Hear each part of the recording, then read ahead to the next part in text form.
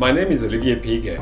I am the director of Frontier, the frontotemporal dementia research clinic based at the Brain and Mind Centre of the University of Sydney.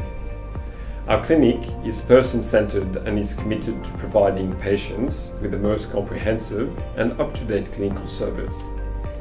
Assessment at our clinic typically involves a neurological and neuropsychological examination, brain imaging, and blood for research.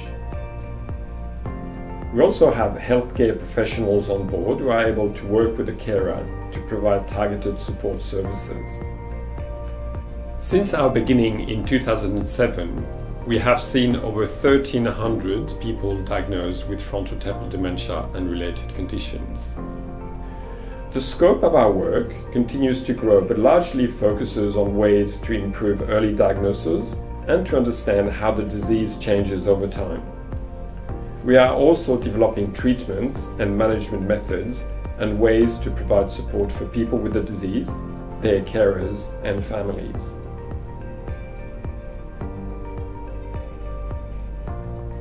With the generous time and effort of our participants, we have made considerable breakthroughs into the understanding of frontotemporal dementia.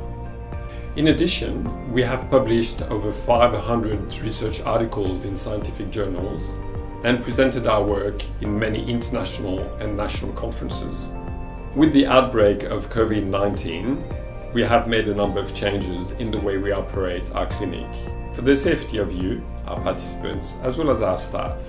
These changes include implementing screening measures at our reception, restricting the movement of people in our building, and improving hygiene measures such as sterilizing clinic surfaces and the wearing of masks and PPE equipment. We are also now conducting some of our appointments online.